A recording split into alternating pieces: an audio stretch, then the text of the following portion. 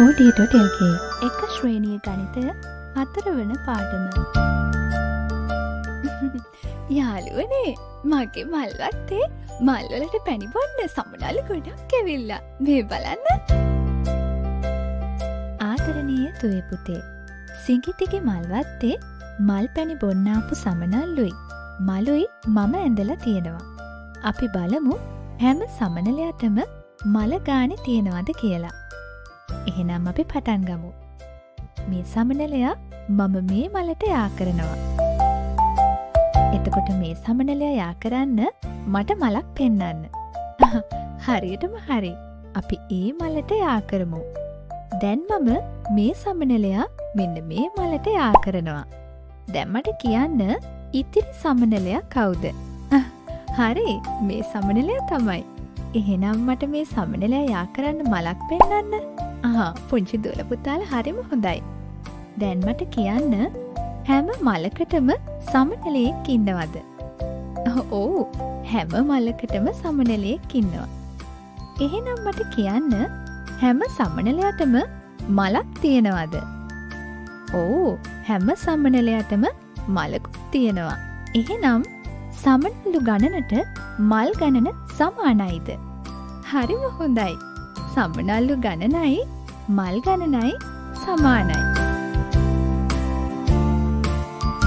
දැන් බලන්න මේ රූපදිහා කවුදින්නේ අහා හරිටම හරි.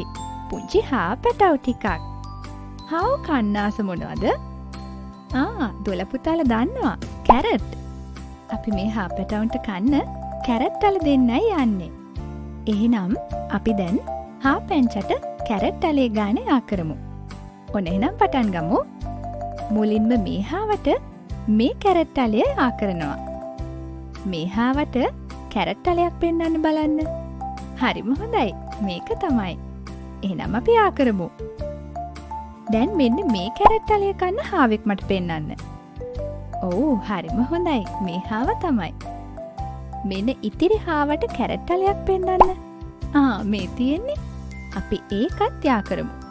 දැන්මට කියන්න හැම හාවෙක්ටම කැරැට්ටලයක් තියෙනවද? ඔවු හැම හාවෙක්ටම කැරැට්ටලයක් තියෙනවා. එහෙනම් දැන් කියන්න හැම කැරැට්ටලයකටම හාවෙක් ඉන්නවද? හොඳට බලන්න. එක කැරැට්ටලයක් ඉතිරි. එහෙනම් ඒ කැරැට්ටලය කන්න හාවෙක් නැහැ. මට කියන්න හාවු ගණනයි කැරැට්ටල ගණනයි සමානයිද? හාවු ගණනයි කැරැට්ටල ගණනයි සමාන නැහැ. එහෙනම් මට කියන්න හාවුද වැඩි කැරැට්ටලද වැඩි? හරිම හොඳයි. කැරැට්ටල ගණන වැඩි. එනම් පුංචි දොලපුතාල දන්නවා. රූප එකට එක ගලපන්න. තවත් පාඩමකින් හමුවෙන තුරු මම සමුගන්නවා.